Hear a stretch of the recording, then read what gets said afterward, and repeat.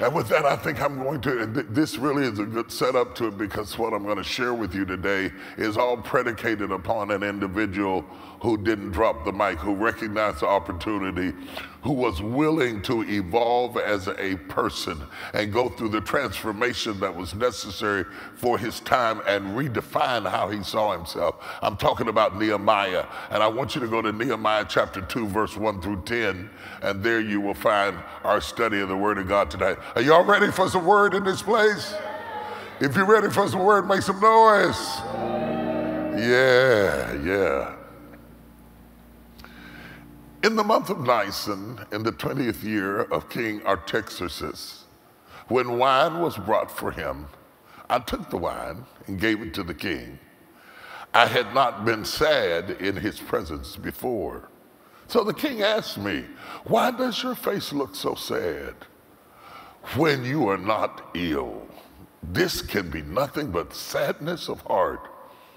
I was very much afraid.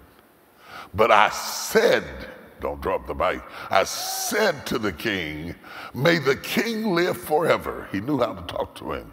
Why should my face not look sad when the city where my ancestors are buried lies in ruins and its gates have been destroyed by fire? The king said to him, What is it you want?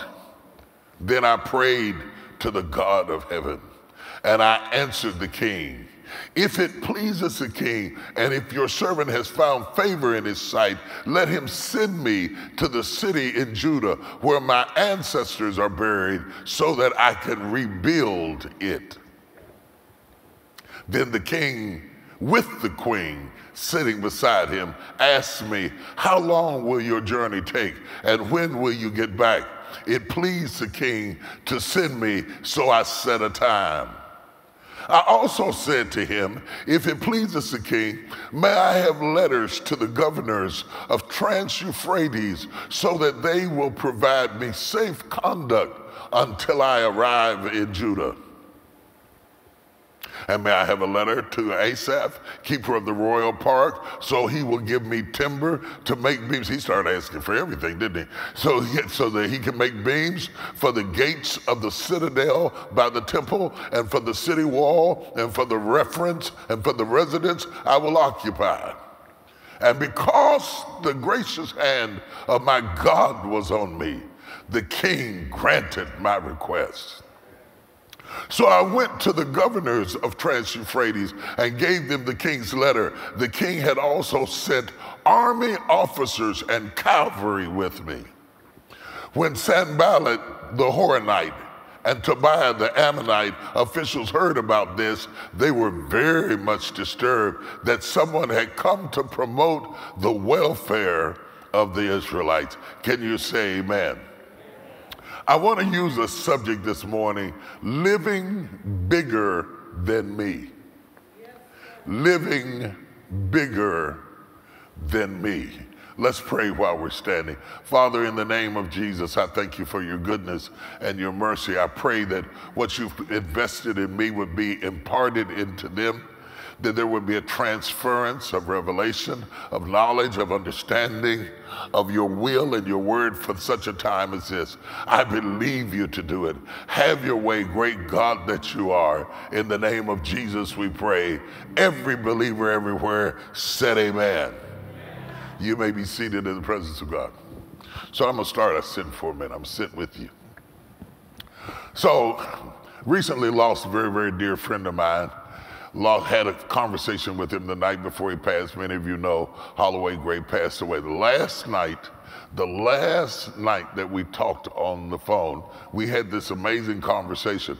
And I was telling him about, I had told him before, but it came up again, how as you get older, one of the things that gives you a feeling of feeling good about where you are in life is that you didn't waste your youth.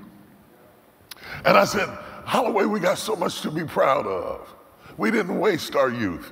We didn't waste our strength. We didn't waste our energy just living to ourselves, doing our own thing, paying the bills, making the rent, and bringing in the groceries and going home. We got outside of the box and changed lives and touched people and reached around the world and did something that was beyond ourselves. And it gave us a feeling of gratification and a feeling of a life well lived. Never in my wildest dreams did I realize this would be my last conversation with him. The reason I broached the subject with him, though, is because I recognize that we are living in such a, a me society it's me. It's all about me. Selfies, thousands of pictures of me. Everything is about me. My feelings, my needs, what I want, what I feel. You didn't treat me right. Every, every, everything is about me. And two, when two me's get married, you got a mess you got a real mess because she's talking about herself, he's talking about himself, and the me syndrome goes on and on and on, and people never evolve into becoming who they should be because they never get beyond living for themselves. If you hire somebody like that, they can't get along with anybody. The moment they get their feelings hurt, they lose their mission because their feelings got hurt.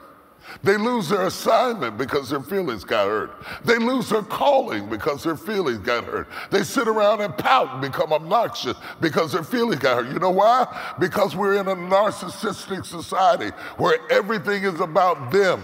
It's about me. I can't be loyal because it's about me. I can't be dependable because it's about me. I can't sacrifice because it's about me. I got a voice, but I won't sing because I don't feel like coming out on Thursday night because it's about me. I've got a message, but I won't give it because I don't like being in front about people. It's about me. Everything is about me. I would go after this other job. I'm going to stay on this job because it's about me. I got kids, but I don't want to be bothered bother with them because they get on my nerves. It's about me. Come on, talk to me, somebody. I have never seen anything like this. People who have kids and don't want to be bothered with them. Now, there might be some times that they got on your nerves, but you still got to hang in there because you got to know that in order to be a mother, it's a sacrifice. Quit looking at some cute guy and saying, I want to be your, your, I want you to be my daddy. What is it, mama? Baby daddy. I want you to be my baby daddy. No, no, no, no, no, no, no. When he get through being cute, you still got that kid. You got to want the kid, not the daddy. You got to want the kid because that's a lifelong experience. If you're a man, quit looking at a woman, she's gorgeous. I want you to have my baby. After she had the baby, I want you to take care of that baby. I want you to get a job. I want you to make some payments. I want you to bring some bread and some food up in this mug. We got to get rid of this me syndrome that's killing us. It is destroying us. It is destroying our ministry. People who are preaching now are not preaching for the crowd or for the people or for the benefit of the people. They're preaching for themselves. What's in it for me? You cannot serve God and be a Christian, not a real Christian, and be stuck on stupid and tied into yourself and refuse to evolve to the degree that you understand this is about sacrifice. This is about service. This is about giving yourself away. This is about pouring out your energy and going where you've never gone before and living for a purpose, for living bigger than me. I want to live big. I want to live big. I want to live big. Type that in the timeline. I want to live big. I'm through living small. I'm not going to let the devil talk me into living small. I'm going to live big. I'm going to live big because I'm living around so many people that are dying. And the more people die, the more it makes me want to live big. I don't want to waste a week. I don't want to waste a day. I don't want to waste an hour. I don't want to waste a second. I want to live big. That's why I'm not going to let you get on my nerves because I want to live big. That's why I'm not going to let you frustrate me because I want to live big. That's why I don't care what you think about me because I want to live big. I want to live big. I want to live so big that I live for something that is bigger than myself. In our text today, we have Nehemiah. He is neither a prophet, nor priest, nor king. He's just somebody working a job. The, the, the book of Nehemiah begins in such a way that it introduces his character to us who leaps at us almost without warning from a position of working a nine to five. He's got a grind, he's got a job, he's doing his own thing. It's cool. He's set up, he's working in a nice place, he's got everything together. Let me explain to you how Nehemiah comes to have his job. He undoubtedly was born during the time that Israel was in captivity up under the Babylonian captivity. The Babylonians had taken Jerusalem and destroyed it. And you've heard me preach before about how they left in chains. And if I forget Jerusalem, let my tongue cleave to the roof of my mouth. You've heard me preach before about the sacrifices they went through. Well, then they did go through those sacrifices. Babylon ripped them away from their home. But guess what? You reap what you sow. The same Babylon that tore things up for them got overcome by the Persian army, and now the Babylonians are out of power, and the children of Israel have been released to go back home, and some of them have stayed. Nehemiah is one of the ones that has stayed. He is now working for King Artaxerxes. King Artaxerxes is a Persian king. He's a new ruler, he's a new emperor, and Nehemiah is his cupbearer. And he's now in a position of authority. And he's now in a position of power. And he has Nehemiah as a cupbearer. Now, that doesn't make Nehemiah a waiter. It doesn't make him a busboy. It doesn't make him just somebody who's going to and fro. That means that everything that the, every time the king drinks wine, Nehemiah tastes the wine before the king to make sure it was safe. So Nehemiah is used to danger. I'm not trying to tell you that he's a wino. I'm not trying to tell you he's a drunk. I'm assuming that you understand that one of the proclivities of the Persian governments was to kill or to do a coup on a king by poisoning him.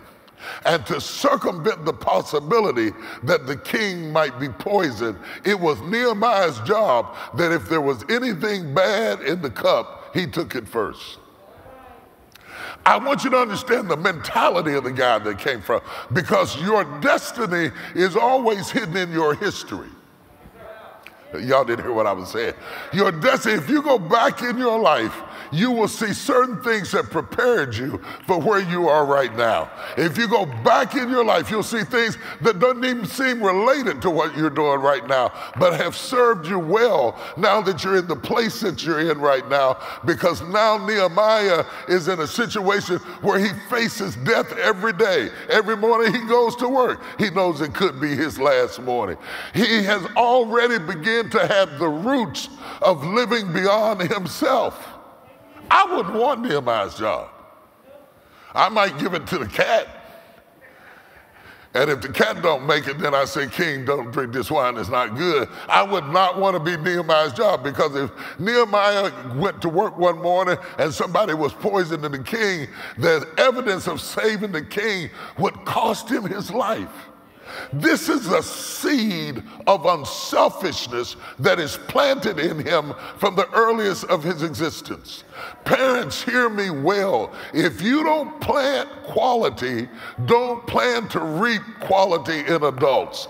If you don't plant the seeds of unselfishness, if you don't plant the seeds of courage, if you don't plant the seeds in them where they learn not to be selfish and they learn to share and they learn that everything is not about them and it's not about what you want and it's not about you liking Chuck E. Cheese. We're going this place today. We'll go that place another. I know that sounds like little bitty things, but it's the, the root work of creating a certain type of person that they don't think that the whole world evolves around their wishes. The reason we have so many divorces today is because you think the whole world evolves around your wishes. And if you don't find somebody who evolves around your wishes, you're ready to get out because you're not willing to live beyond yourself. Come on and talk to me, somebody. Type in the comments, I want to live bigger than me. I didn't come here to live and die just to pay the mortgage on a house I'm going to leave. I didn't come here just to pay the rent For somebody who's a homeowner and I made my payments and my credit is good, that's great. And I lived here and then I died. That was it. That's all you're going to do? Is live for some clothes in your closet? And some red on the bottom of your shoes, you could get some paint and paint red on the bottom of your shoes. You're living all your life for stuff you're going to leave.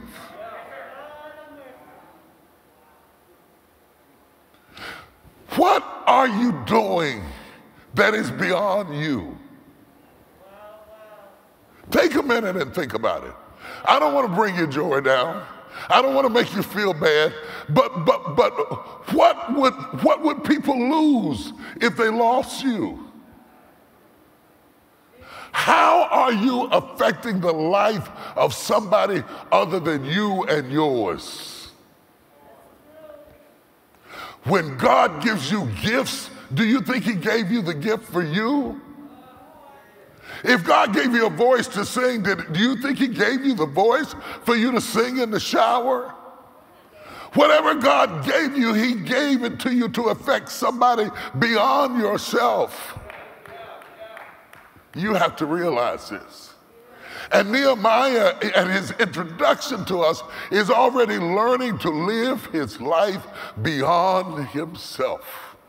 The king already understood. The king's father had been poisoned. Nehemiah had faced death every day. It was clear to him. He understood quite clearly what was going on in his life. And while he has decided to stay behind and not go back to Israel and not go back to Jerusalem, he has not lost his compassion for Jerusalem. Now, watch this. In the previous chapter, somebody has come to him on his job and said, Have you heard about back home? Everybody that went back home, they're back home, but things are not cool.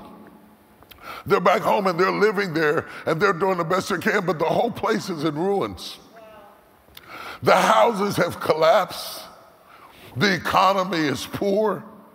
The people are struggling. And the walls of Jerusalem lay in ruins. The gates have been burned with fire, and everything has been destroyed. Now, the person who told him told him and walked away. But Nehemiah could not get out of his head that he was supposed to do something about that. Isn't it amazing how both of us can be exposed to the same information? It bothers one person and it doesn't bother another person at all. It's almost like somebody living in a messy room. Some people are happy in a messy room. It doesn't bother them to be in a messy room, but it drives you crazy to be in a messy room. See, the things that drive you crazy are the things you have the power to change. If you've been looking for your purpose, look at, look at your passions. Not just what you like, but what you don't like. What you can't stand to see is a clue, not that they should do something, but that you should do something. Now, Nehemiah has nothing to do with it. He's set for life. He works for the king. He doesn't work for the cobbler making shoes. He doesn't work for the carpenter. He doesn't work for the coppersmith. This boy working for the king. And he goes on a fast and stops eating because he is worried about something bigger than him. I don't care whether you're 30 years old, 40 years old, 50 years old, 60 years old, or 10 years old, until you have been worried about something bigger than you, you have not lived yet. Until your prayer life has gone beyond you and your four and no more, you are not an intercessor. You're not a prayer warrior if all you care about is you until you have gone to bed troubled about something that you didn't see how in the world you were going to fix, but it bothered you. You're not living, you're just existing. Nehemiah is troubled where other people are comfortable. You want to know what makes people great? It's when you are troubled by what makes other people comfortable. I never will forget one day I came in and we had a staff meeting, and it was not a good one. It was not a good one. I very seldom fly off the handle, but it was really not a good one. And I remember one of the things I said to them I said, I'm angry. And I'm angry because you're not. Because if you had been angry, I wouldn't have to be angry. The only reason I have to be angry is because you saw it and you remained indifferent about something that I think is extremely important. What moves you? What, what do you value? What will you fight for? What will you put yourself at risk for? If you can't answer that, you have not lived. John Lewis answered that. Dr. King answered that. Mahatma Gandhi answered that. Mandela answered that. All of our heroes are heroes because they were living for something bigger than themselves. Everybody worth talking about, every name you ever want to mention that really shook the world or shook the neighborhood or shook the community or even shook their child did it because they were living for something bigger than themselves. Nehemiah was troubled and he was upset and he was disturbed in his spirit. And it, now it has gotten to the point that when he comes before the king, he has fasted so and become so sad that the king says, You're not sick, but why do you look so sad? What troubles you to the point that it's noticeable? What troubles you, disturbs you, doesn't matter to you. Doesn't matter to you. Doesn't matter that people are dying. Does it matter that people are suffering? I know these seem like simple questions, but today we have to ask these questions because we're living in a society today that doesn't seem to care even that hundreds of thousands of people are dead. You can no longer assume human compassion. We are living in the last days, and the Bible said that the love of many will wax cold. One of the reasons that we have such coldness is because we're living in the last days. That coldness, the, the, the, the loss of natural affections, is a sign of the end time. The fact that people can see somebody shot down in the street and keep on eating their lunch the fact that you can have a seizure in the city and people walk past you because they got to get to work is a sign that something is wrong with our society. What has happened to us? That we are not moved with other people's pain and their problem. Nehemiah was touched by the feeling of their infirmity. Not only was he touched by it, because we're often touched by a lot of things but we don't always do something about the things we've been touched by. Nehemiah was touched to the point of action. Don't tell me you care if you can't back it up with what you do. Oh, don't have love for me if I don't get it. Don't be concerned about me if you didn't call me. I want to be able to see a correlation between what you care about and what you are doing, or you're just living for yourself. I want to see you go out of your way for somebody other than you. I want to see you sacrifice for something where you don't get a reward for it. You just think it's important and you're willing to sow into it. I want you to care enough about something that you put something on the line to say, I'm a bigger person. I'm bigger than that. I'm too big to live this small. I'm too big to live in a cage of comfort and never do anything with my life that shakes the world. I'm living for something that's bigger than me. And he goes before the king, and the king notices that his countenance is fallen. And the Bible said he was afraid. And he had a right to be afraid because history says that this particular king had killed his brother to get the position. He didn't take any foolishness. The king asked him, Why do you look sad? This can be nothing but sadness of heart. And he says, I was very much afraid. I was scared. You don't run up on the king just any kind of way. Good God, all of a sudden I realized that Nehemiah isn't working for the king alone. He's not working for the wine alone. He has been positioned for purpose. Write this down because this is for somebody. Somebody I'm preaching to, you think you're there for the job. You think you're in that city, in that country, in that place for just to be there. But God has positioned you for purpose. That's why you don't move every time somebody says something to get on your nerve because sometimes God didn't put you there for the wine, He put you there for the influence. Can't you suffer anything? God had put him in a place that he was kin to the Jews, but he worked for the Persians, which made him bilingual enough that he knew how to talk to the king and he knew how to talk to his own people. In my book, when I talk about you understanding your crowd, you can have the same message, but you change the language depending upon the audience, and your world will be no bigger than your ability to adapt your language to your audience. Nehemiah knew how to talk to the king. He starts a conversation off with the king. Oh, king, live forever. He wanted to know, I'm on your side, king. By the way, my people are in trouble.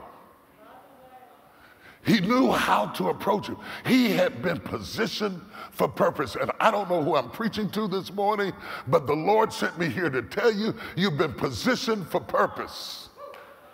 Stop complaining about the temperature. Your desk is too small. They don't recognize you. They didn't print your name. God put you there for purpose when the time is right. When the time is right, God's going to use you to influence and to make a change and to make a difference. You can get paid anywhere. God didn't send you there to get paid, He sent you there to make changes. He sent you there to make a difference. He sent you there how to, how to, learn another language, another protocol, another methodology, another culture and ability so that he can use you in an ambidextrous sort of way so that you wouldn't be so limited. Some of you need to come out of your cocoon. You've been in your safety zone so long that you're about to asphyxiate. God wants to put you into a place that scares you, and a place where you're careful what you say, and a place you have to study to be ready for so that you can evolve. If you ever get exposed to greatness and go back home to weakness, you won't even feel at home anymore. It will change you when you hear what they're talking about. When you hear their conversation, you used to think it's funny, now you think it's irrelevant because God has you, positioned you for purpose. He planted Nehemiah there. God knew that he was going to need a man on the inside. And he planted him right there. And when the time was right, he troubled him. And when he troubled him bad enough, he went in to see the king. And he said, King, my, my, the land of my, how can I be happy when the land of my ancestors is suffering. The land of my ancestors, he had to say, because he had never really been there. In order for him to be young enough to do what he did, he had to be born in captivity, as they were in captivity for 70 years. But he still had respect for where he came from. I could spend all night on that. I'm not even, I'm scared to even touch any of that right there. He had respect for where he came from.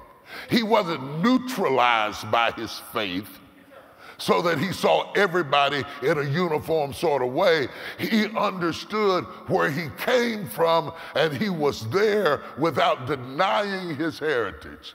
Don't let nobody give you their Jesus at the expense of losing your heritage. It's the difference between me teaching Christ and teaching culture.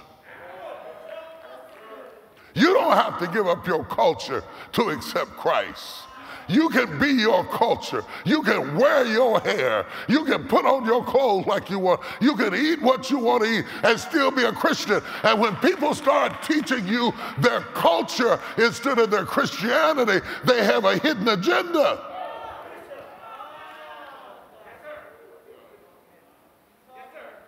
Do you hear what I'm saying to you? And there he is in this situation, and he knows he has to do something. And the king asks him, he says, If I have found favor in thy sight, O king, I need you to allow me to go back and to change my people. And God had given him favor with the king of Persia. Good God Almighty. Next point God's about to give you favor. God's about to give you favor with somebody that you don't even have a right to have favor with, not connected to. Do you not know sometimes God will give you more favor with people you're not related to? Oh, y'all ain't gonna talk to me. Than the people you are related to. God will use somebody to bless you that is unexpected. And the people you thought would help you when you got in trouble won't help you at all. And somebody way out here from left field will come in with your blessing. Somebody's got your blessing. Oh my God. Type that on the line. Somebody's got your blessing just because you don't have the money to do the job, and just because you don't have the wood to build the building, and just because you don't have the resources, and just because you don't have the degree to do what you're trying to do, God will use somebody to underwrite your blessing.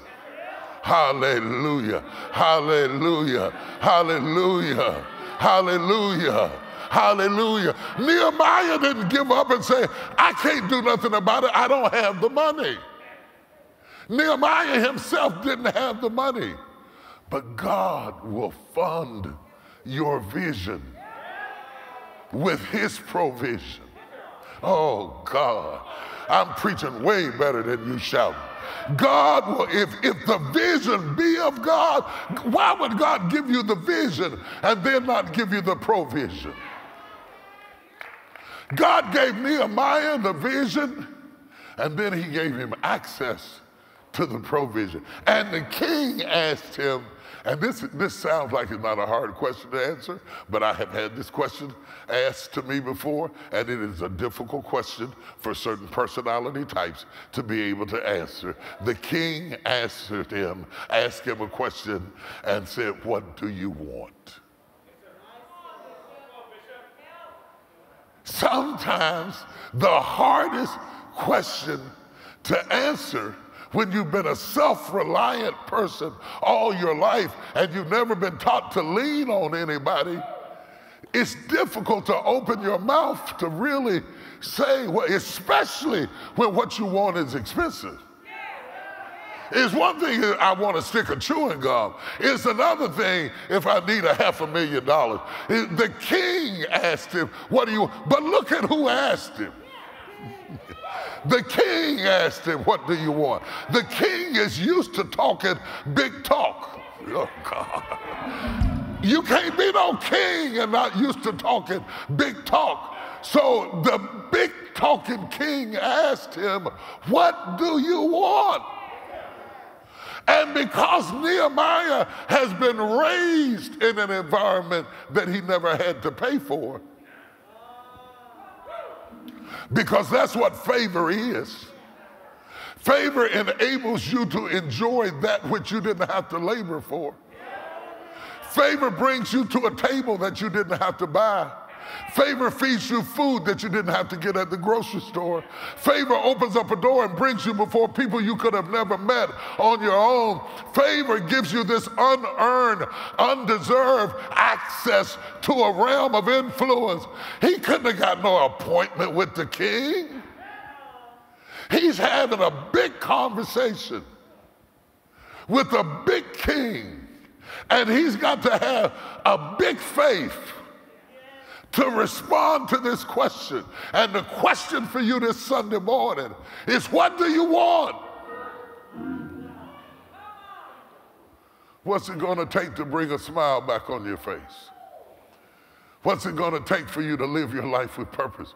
What do you want? Do you know what you want?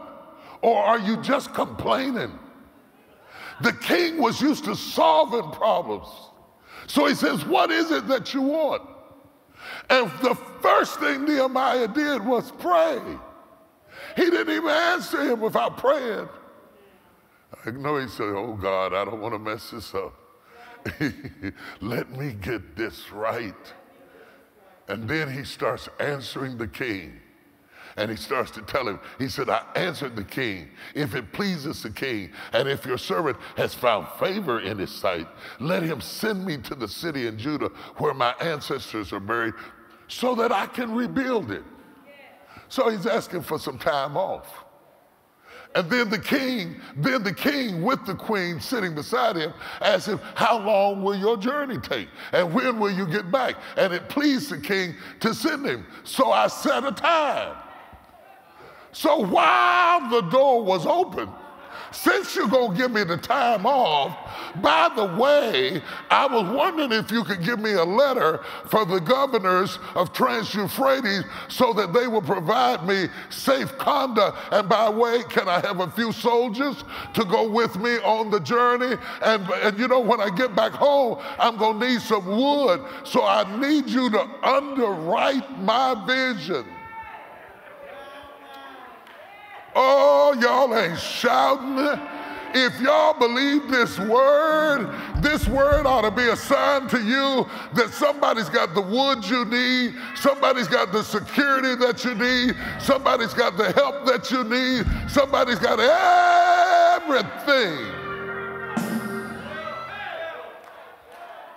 Made me think of that song, If You Want It, God's got it. He's got everything everything you need. I don't know who I'm talking to, but God sent me to stir your faith this morning. He's got everything that you need. And this guy who is a servant in the house ends up with security, letters from the king, access to the king's forest. He got enough wood to rebuild all the gates that had been set on fire. And the king paid the bill and his salary. And he said, by the way, I need enough wood for my house. So the king built him a house. If God asks you, what do you want? Do you have an answer? Some of y'all don't even know how much you need. I need some money. What is that? I could give you 50 cents. I could give you a quarter. I could give you the, I need some, you don't even know how far in debt you are. You don't know what it takes for you to be out. You, you don't, you, you haven't even gotten an answer to the question. But Nehemiah knew that the king was only being nice to him because he says it this way, because the gracious hand of my God was on me. The king granted my request. Oh, God. If I was talking to some people of faith this morning, they would shout, The hand of God is on me. The hand of my God is on me. The hand of my God. I can tell the hand of God is on me because He made you like me. When the hand of God is on your life, He'll make your enemies your footstool. When the hand of God is on your life, He will supply all of your needs according to His riches in glory. Somebody ought to shout, His hand is on me.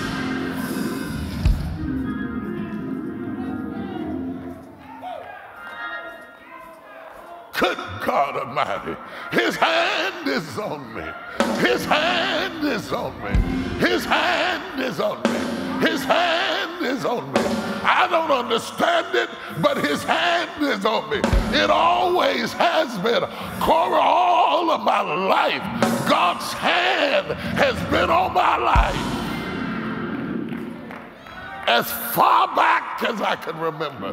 The hand of God was on my life. It was on me when I was right.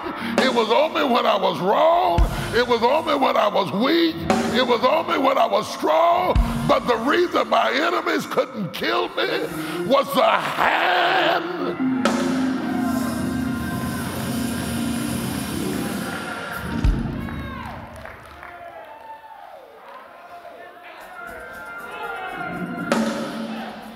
hand of God, the hand of God, the hand of God, the hand of God, the hand of God, the hand of God, the hand of God, the hand of God, the hand of God. Stop the cancer, stop the disease, stop the plague, stop the enemy, stop the curse, stop the bondage, stop the virus. The hand of the Lord. Nehemiah knew that the graciousness that was extended to him by the king came from God. God's going to use other people to bless you. But he's not going to use other people to bless you when your vision is only you. God is not going to give you the king's ransom when all you want is about you. God underwrote the budget because Nehemiah was living bigger than me. He wanted to do something that was bigger than him. And wherever vision goes, provision will get right in behind it. It'll get right in behind it. It might not walk with it. You might have to have a vision first that you can't pay for. But if you look over your shoulder, goodness and mercy are following you all the days of your life. Provision, look over your shoulder. Provision is right over your shoulder. Ha! Can I go deeper with this text? Because I want you to get this text. Better still, the Holy Spirit wanted you to get this text. The reason God got you up to hear this message is that God wants you to get this text. He wants you to understand that He's already got the bill paid for. He's already raised the trees that are going to be the gates to the city. He's already made the way. Now you got to be courageous. You got to be courageous. Because it's one thing to be dealing with a cup of wine, and it's another thing to be dealing with a den of thieves. God's getting ready to take you to the next level. And every time you go to the next level, you go to the next devil. you can't you can't get more without getting more. more house means more payments. means more insurance, means more taxes. Means more options, means more rooms, means more bathtubs, means more bathrooms, may mean a, more swimming pools, but more means more means you're going to have more breakdown, more plumbing, more this, more that, that. You can't get more of what you want if you're not prepared to deal with more of what you don't want. Oh, y'all don't hear what I'm saying. Somebody type that more means more. You can't get more of this and not have more of that. If you get a car, you're going to need a garage. If you need a garage, you're going to have to have some oil. If you have some oil, you got to have some gas. More means more. Think it not strange that these fiery trials have come upon you. You know why fiery trials have come upon you? Because you got more. To him whom much is given, much is required. You can't have much given and little required. Now he has to go right into the enemy's camp and face them. One man fighting for a whole nation, odds against him. And the reason that he's gone is because Jerusalem lay in ruins. The walls had all been broken down, and the gates had all been burned.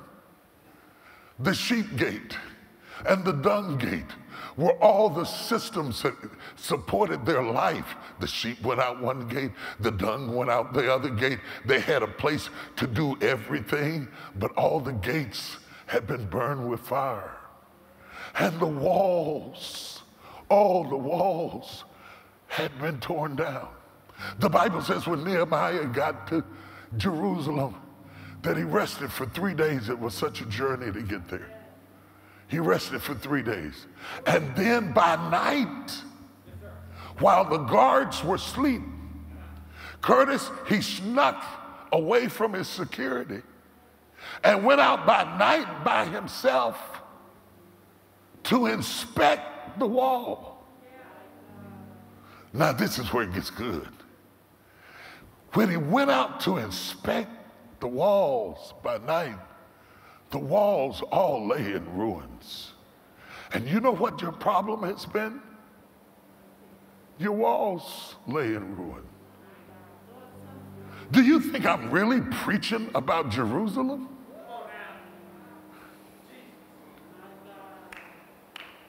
The Bible says a man that cannot rule his own spirit is like a city without walls. If you cannot control you, it's not that you're a bad person. It's not that you're evil. It's not that you're wicked. It's not even that you're weak.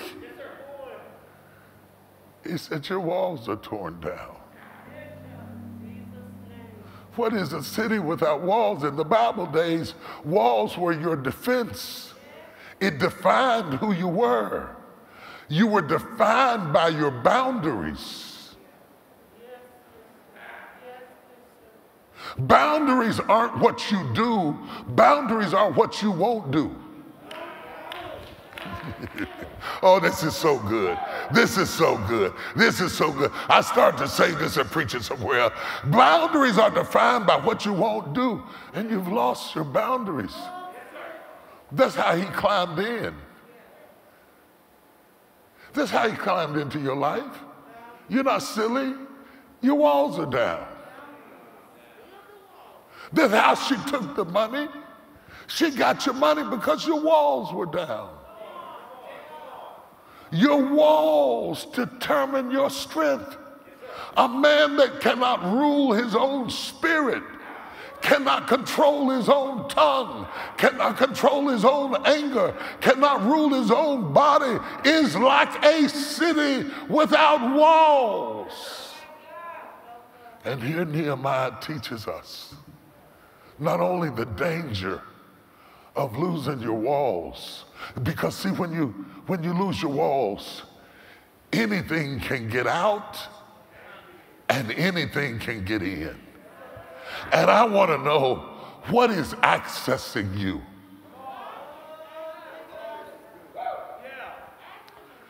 depression and fear and anger and low self esteem and doubt and dread and moodiness and anger and hostility and intimidation and insecurity. You didn't inherit that. It got in because you don't have walls. It got in because you didn't say no. And all of this text is about the importance of boundaries. You can have a friend, but you got to have. you can eat, but you got to have some.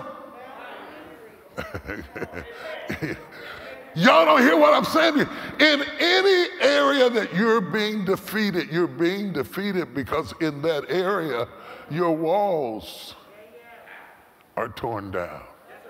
This might be the most important message you will ever hear this year because none of us wants to be defeated. Sanballat and Tobiah and all of them were Samaritans and they were, were Assyrians and they had come over because they were taking advantage of Jerusalem because the walls were down. What is taking advantage of you? Because your walls are torn down. How, wait, can I go deep? I need some time this morning. How, how did my walls get torn down? You know that last big fight you had? You, you know that last big fight, that last emotional upheaval, that last loved one that died, that last relationship that fell apart. She didn't just get the couch and the refrigerator.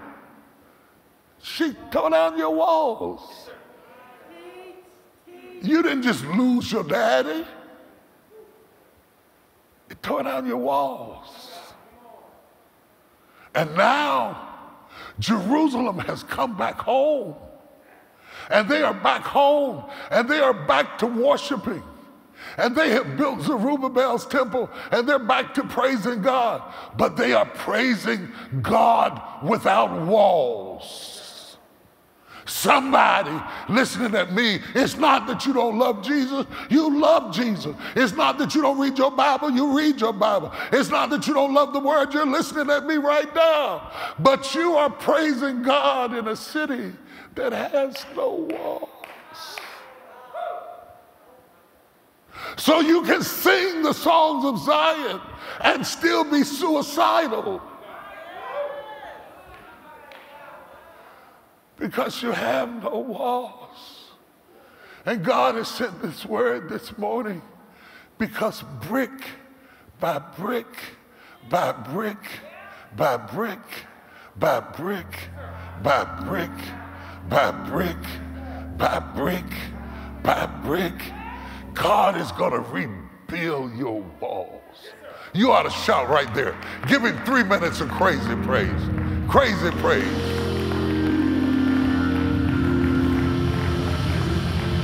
Crazy praise. Crazy praise. Crazy praise. Crazy praise. Crazy praise. Crazy praise. Crazy praise. Crazy praise. Crazy praise. Crazy praise. Crazy praise. I never will forget I had the hardest time learning to save money. Corey, I couldn't save money to save my life. I, I go out there and make money look like everything just went through my hands like water. I had to pray about it. I had to really use my spiritual weapons against my economy. At first, I was praying, God, give me more and more and more. And He gave me more, and I still didn't have nothing. And He said, Now what? You was broke with nothing, and you're still broke with something. So it's not the amount I'm giving you. You have no walls. He said, if you build walls, if you resist urges, if you develop discipline, I'll open up the windows of heaven and pour you out a blessing you won't have room enough to receive. But I will not be complicit in your dysfunction. Oh, y'all ain't shouting now. He said, T.D. Jakes, I want to use you in a mighty way. You're pastoring in the woods right now, but I got a place for you in Dallas, but I can't send you to Dallas because you don't have no walls. If you don't learn how to have walls in Montgomery, you won't have walls in Dallas. If you don't have walls with 30 members, you won't have walls with 30,000. And he said, So before I can bless you any further, I got to send a Nehemiah spirit. Yeah, type it in the comments. A Nehemiah spirit is coming into my life. A rebuilding spirit is coming into my life of reconstruction is coming into my life. A replacement of priorities is coming in my life. A new priority is coming in my life. New boundaries are coming into my life.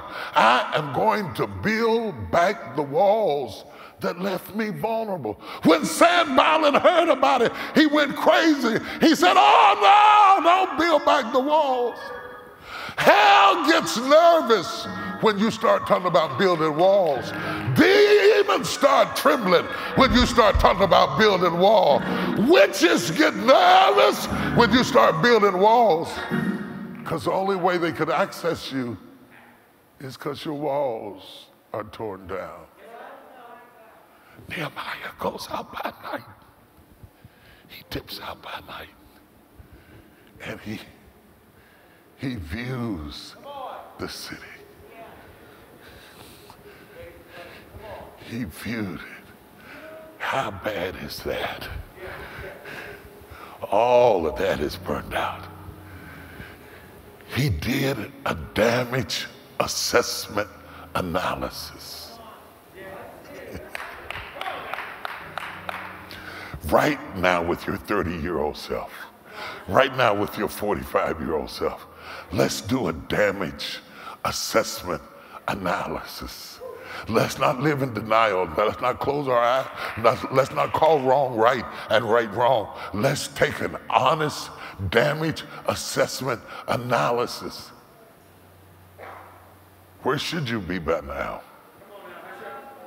Where could you be by now? Let's see what is torn down that's stopping you from going. Let's see how many times you're on the basketball court when other people are studying their word. How can your ministry explode when you underfund it with your attention?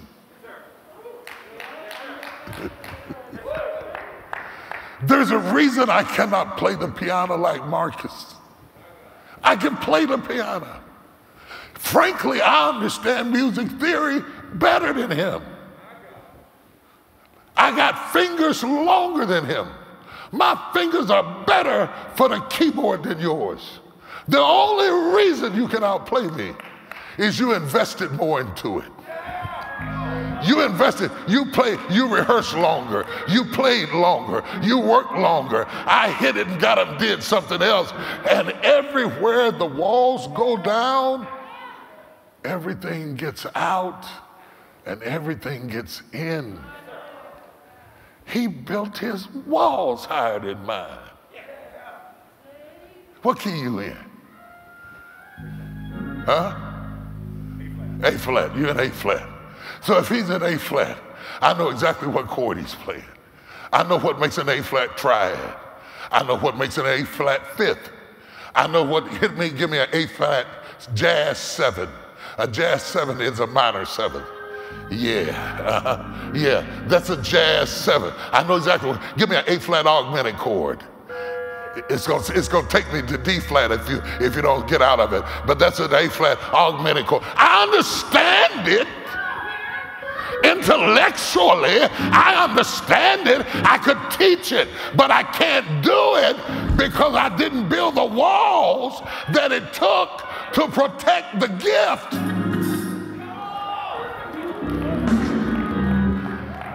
Y'all don't hear what I'm saying. Somebody holler, build that wall.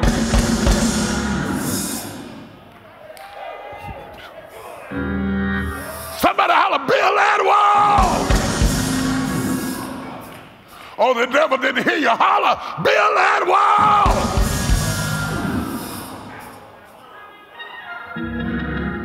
What happened to the wall? Oh, Lord, I'm not to finish. You keep feeding me while I'm standing here.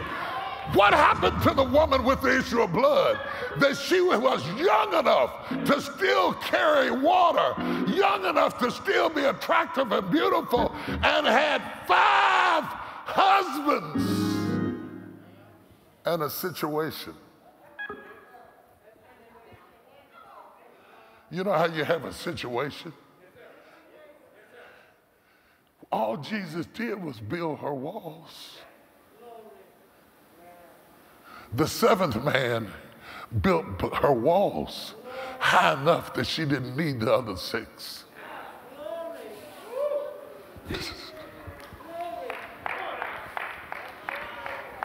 Wonder why God's got you listening at this message. Wonder what areas you need. We all got them. We all got them. We all got them. I was on the treadmill yesterday, sweating and huffing and puffing all out of breath. We all got something we got to be working on. What wall do you need to build in order to accomplish your purpose? Nehemiah has assessed the walls.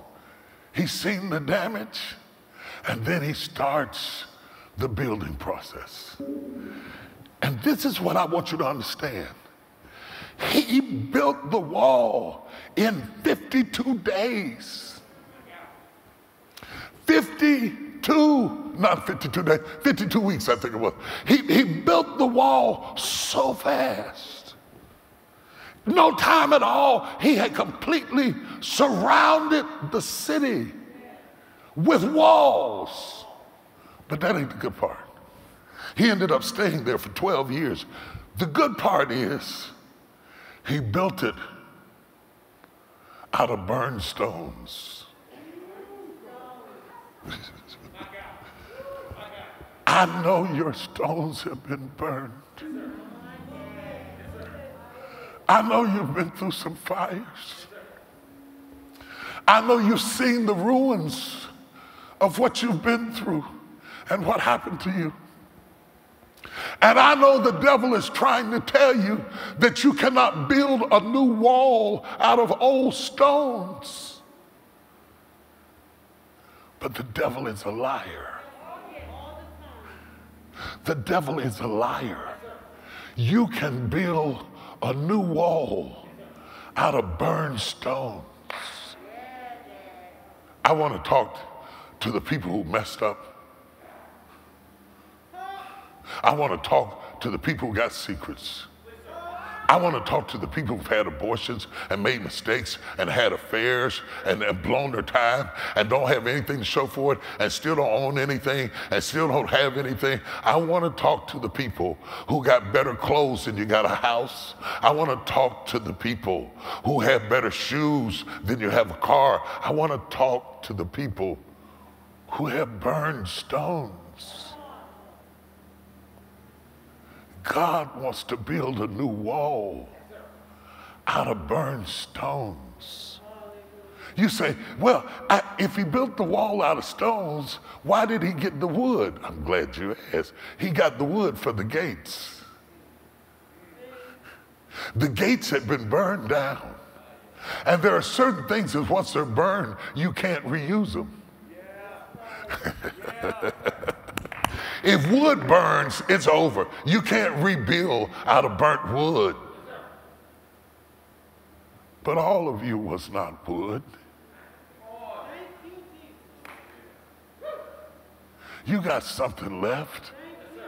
You got usable materials that still exist. And you have allowed all of these other nations to come in and affect you. When all you really needed to do was build back your walls. So Nehemiah climbs up on the wall and he starts rebuilding. He starts rebuilding. And the Lord said to me, This is a time of innovation. The season that we're going into now is a time of innovation. He says, in order for you to be productive in 2021 and 2022, you're going to have to build from burned stones. You're going to have to be innovative enough to assess what you've got left and go back to building, not crying, not lamenting, building, not dancing and worshiping, building. Remember, you can worship without walls. So you keep giving God more worship, and yet you keep having more attack. And you don't understand that worship does not replace walls. Walls require your involvement. You must build back the walls. And the wood is for the gates. Now, the damage suggests that the gates are not repairable because they have burned down and they have to be built again. But the wall, he says, I think we could do something with this wall. Hey, hey, hey, hey, hey, hey, you, you, you listening at me right now.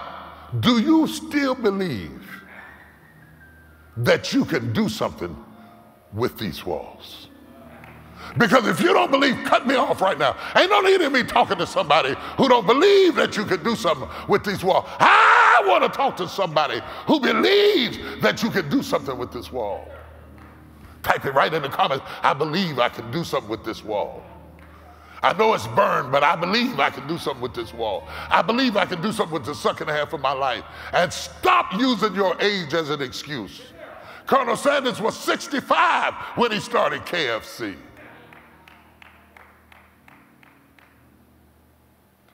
Bob Schieffer told me everything important that happened in his life, the American journalist, happened after 65. But you have talked yourself into dying, picking out plots.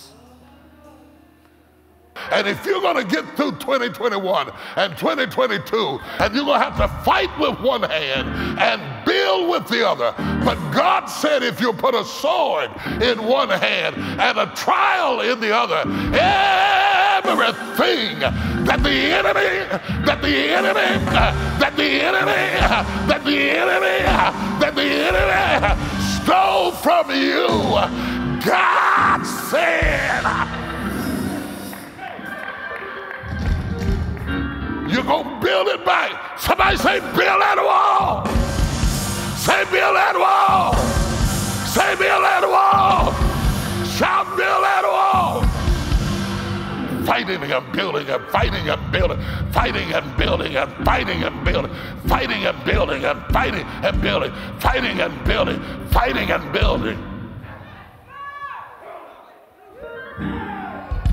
God.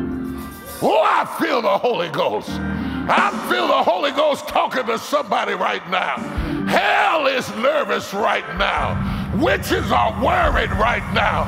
Demons are distressed right now.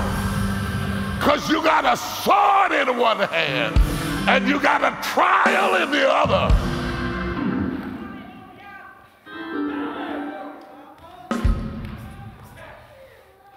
And you're going to build and you're going to fight. And you're going to fight and you're going to build. And you're going to fight and you're going to build. And you're going to build and you're going to fight. Somebody ought to build that wall.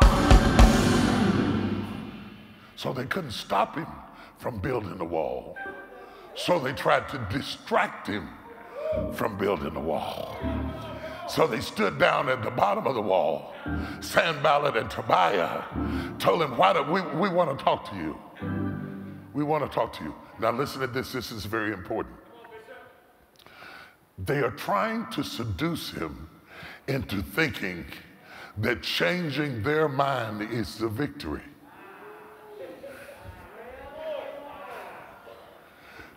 They want him to accept a false victory. You're not doing this to prove something to your ex husband. You're not doing this to prove something to your sister. You're not doing this to get your mama to love you. You're not doing this for the Joneses across the street. All of those are distraction. It's false goal. It's false goal. It's false goal. And Nehemiah hollered back down said, Why should the work cease? Why should I stop doing what I'm doing? I finally got up on this wall. I finally got a rhythm going. I'm finally fighting on one hand and building on the other hand, fighting on one hand and building on the other. And you're not going to break my rhythm. The devil wants to break your rhythm, but the devil is a liar. Let them say whatever they want to say. Let them say whatever they want to say. Let them talk about you. Let them write about you. Let them make fun of you. But don't break your rhythm.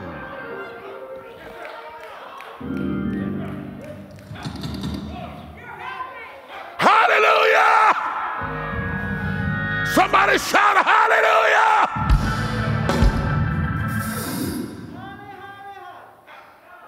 What you are getting ready to build is absolutely amazing.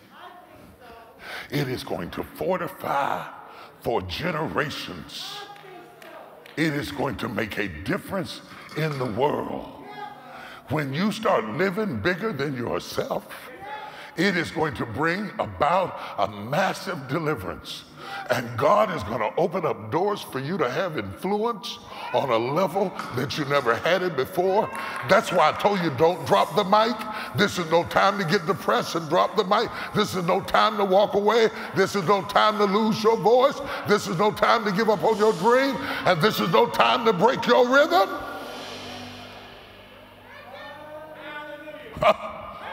Don't break it.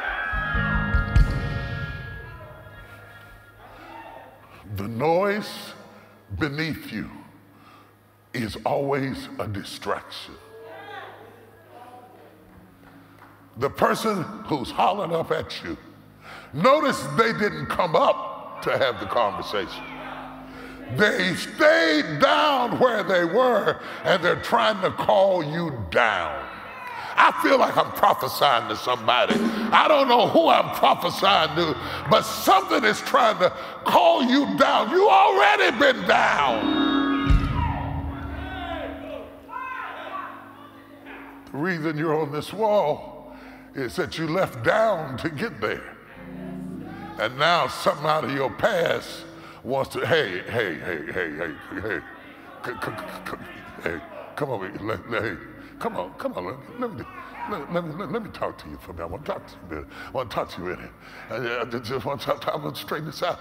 I, I, want to, I want to change this one. I want to say, no, no, no, no, no, no. We don't have nothing to talk about because I got a rhythm. I got a rhythm. I got a rhythm. I got a rhythm. I got a rhythm. And why should the work cease? God said, if you respond to them, you will do it at the expense of your mission.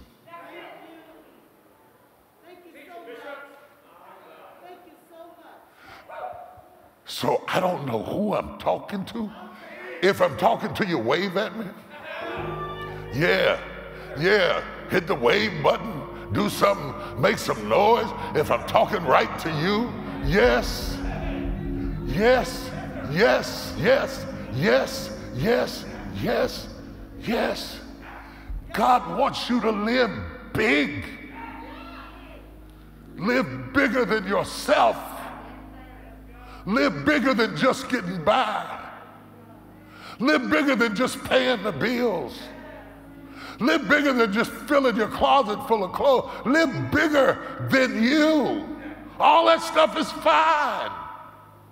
As long as you can show me evidence that you did something for somebody, that you gave something to somebody, that you prayed about something and invested in something that was not selfish, that you learn the art of service.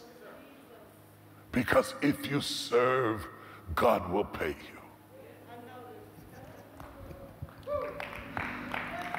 They didn't hear me, Oscar. If you serve, God will pay you. If you serve, God will pay you. If you just serve, God will pay you. If you serve, God will pay you. You're saying, if you pay me, God, I'll serve you. God says, if you serve me, I'll pay you. God said, if you serve me, I'll pay you. As I come to a close of this message, I want you to understand something right now. I feel this thing. I feel this thing. I've always lived for something bigger than me. I always lived for something bigger than me. Bigger than myself, bigger than my own needs, bigger than my own drive. Oh, yes. Oh, yes. I've been blessed. Oh, yes. Oh, yes. I have been blessed. God has been good to me. But I didn't have to rip anybody off to get there. I didn't have to be selfish to get there. I didn't have to mistreat people to get there. I didn't have to rob anybody to get there. I live for something bigger than me. And he blessed me. Now, this Wednesday night, I'm going to take this to the next level. And most of my Sunday morning people are not Wednesday night people. But Wednesday night at 7 o'clock, I want you to tune in, same station, same place you are right now, to our Bible class. Make room for it because I want to give you another dose of this. This is the first dose. The second dose is coming. The second dose is coming. The second dose is coming. We got to build that wall. Build that wall! It's coming because I won't stop until you really are living for something bigger than yourself. And I got to clear out some debris. And I'm going to clear out some more Wednesday night. I'm going to clear it out of the way so that I can get you on the path to building the walls that will define you. The walls define you. They define whenever you you get ready to sell property, the first thing the realtor wants to see is a survey. Exactly where are the lines? I want you to draw some lines around you. Uh, lines around your time. Lines around your thoughts. Lines around what you will allow yourself to entertain in your head. There were three nations on the other side of that wall who did not want those walls to go up. Identify the nations, people, places, or things in your life that are benefiting from your dysfunction.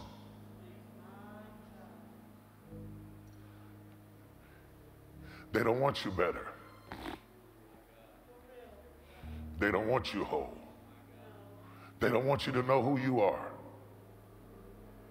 Nehemiah stayed there 12 years and became the governor of his people. From a cupbearer to a governor. He got there because he had as much integrity down low as he did up high. Integrity is boundaries. God, I preached good this morning.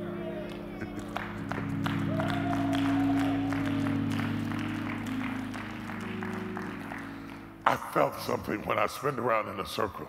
I felt somebody uncomfortable because this message is chipping away at something you're into. When I spin around in a circle just then, God said, This message is chipping away into something you're into. As long as I preach about worship, you're good. As long as I preach about being blessed, you're good. As long as I preach about prosperity, you're good. But this particular message is chipping away at something you're into. And there's a fight going on in your spirit because you have justified your behavior because your needs weren't being met. And now I'm telling you to live bigger than yourself. I'm telling you, it ain't about you.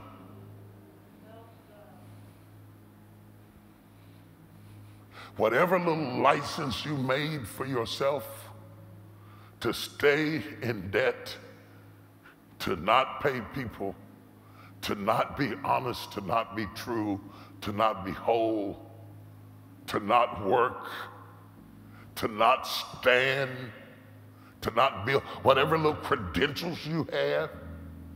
I didn't know my mother. I didn't know my father. I didn't grow up in the right neighborhood. I didn't finish school. Whatever little degree you got in stupid,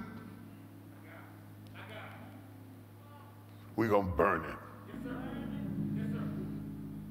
Because there are people who didn't have a mother or father who built nations and companies and businesses and churches.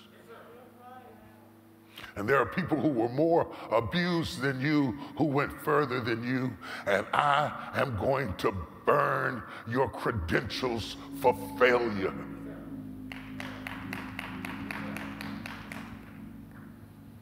And I know you're a little uncomfortable.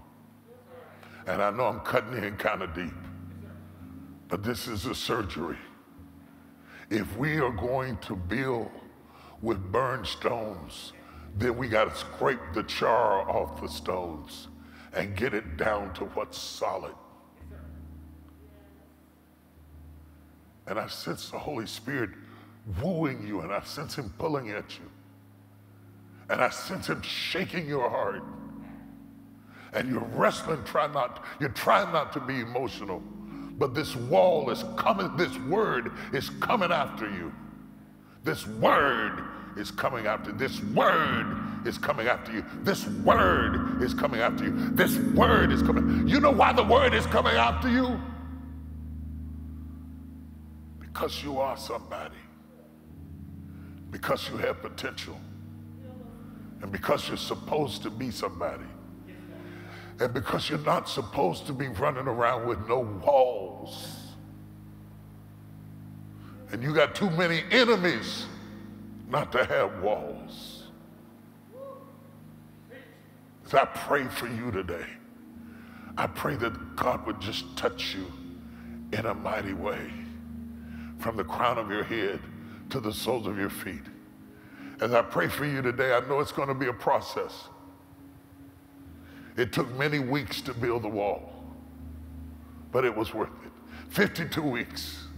You're not going to do it in 52 minutes. But brick by brick, we're going to start building walls. Father, right now in the name of Jesus, distance me from all of the rodents that have been climbing over the debris of my broken walls. I come to you, Lord. I understand that last thing I went to, it burned me. It broke me down. It hurt me really, really bad. And I stopped trying. And I stopped living. And I stopped breathing. And I just settled for whatever, whatever, whatever. But that old man from Dallas preached something that made me get my fight back. And I'm getting ready to build a new wall out of old stones. Father, right now, in the name of Jesus, I pray for the spirit of innovation and creativity to come in and take over as we begin to build the walls. I'm going to rule my temper. I'm going to rule my tongue. I'm going to rule my depression. I'm going to rule my fear, my anxiety, my feeling of unworthiness.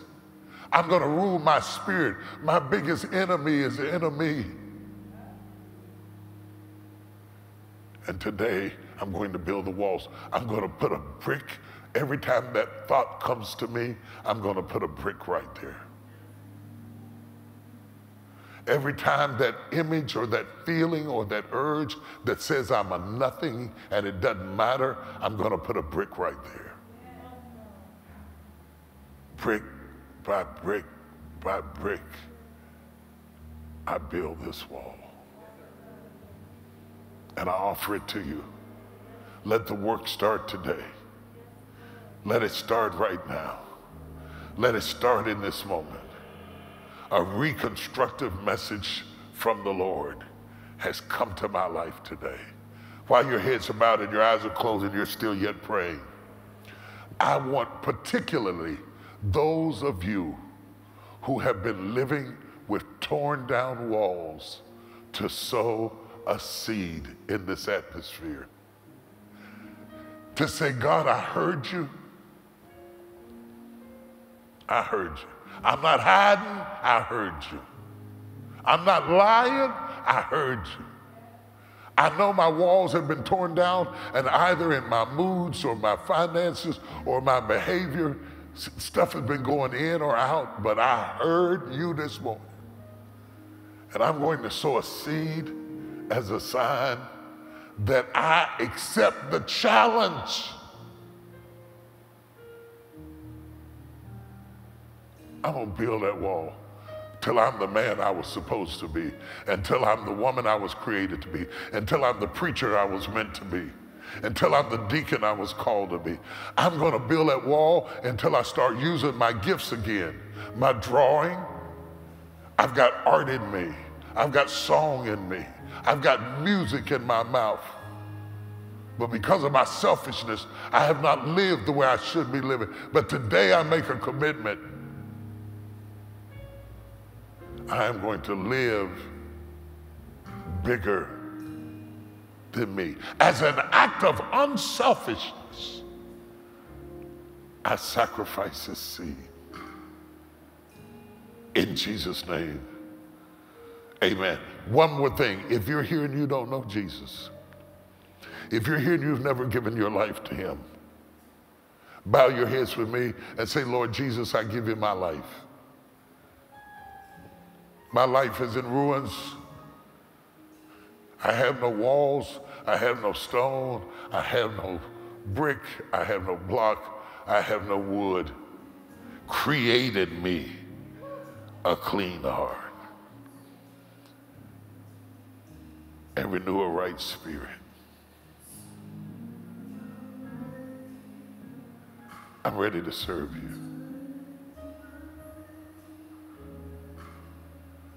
Right now, I accept you into my life and into my heart. All around the world, wherever I have viewers, and there are thousands and thousands of people watching me right now, I want you to worship God. Out of your mouth, out of your mouth, I want you to open your mouth and worship God.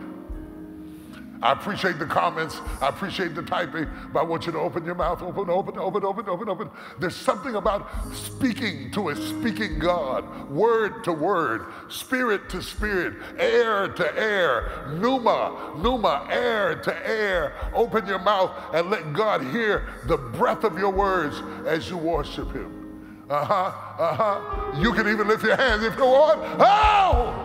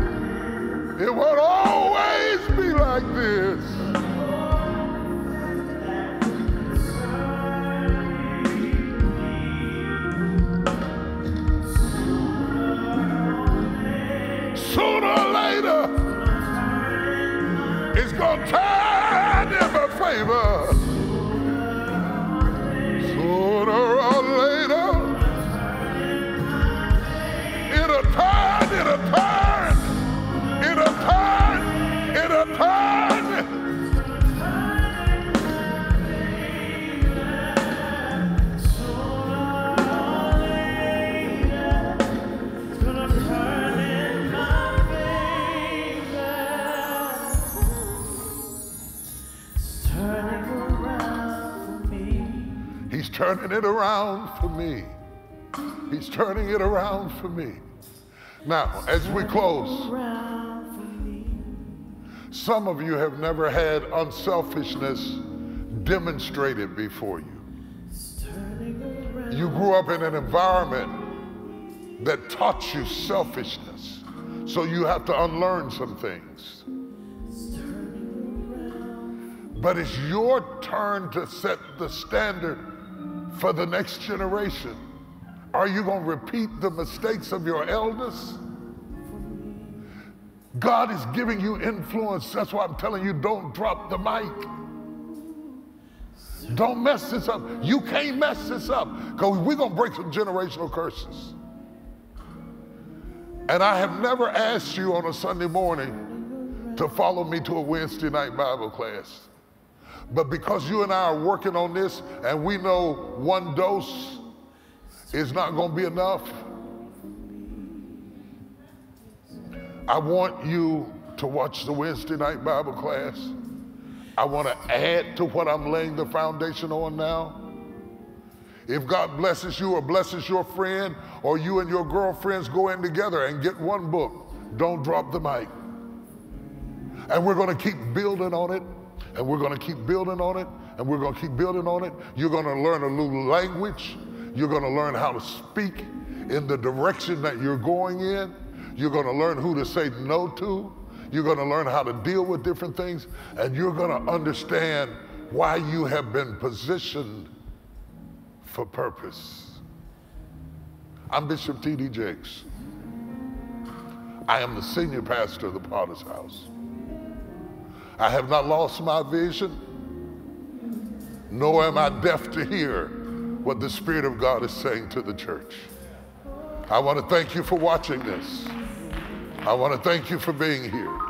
I want to thank you for giving me purpose and giving me life and giving me a reason to get out of the bed in the morning. You have done so much to enhance the value of my life. You are my bigger than me. You are my bigger than me. So I thank you for giving me a bigger than me because my bigger than me is you. Don't go nowhere. I need you as much as you need me. And together, we're going to learn to live bigger than ourselves. I'll see you Wednesday night. God bless you. He's turning it around. turning around.